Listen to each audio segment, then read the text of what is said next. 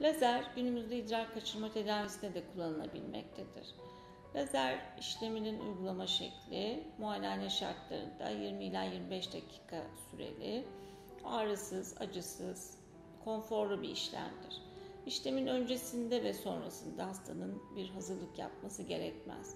Bu esnada bir kesi ya da dikiş gerekmediği için ağrı, acı ve ameliyat sonrasındaki dönemde kullanması gerekebilecek ağrı kesici ya da antibiyotik tedavileri de gerektirmeyen bir yöntemdir. Aynı gün günlük hayatına dönebilme avantajı vardır. E, hasta memnuniyet oranları da neredeyse cerrahi yöntemlere yakındır. %68 ila 92 oranında bir e, şikayetlerde gerileme tanımlanmıştır.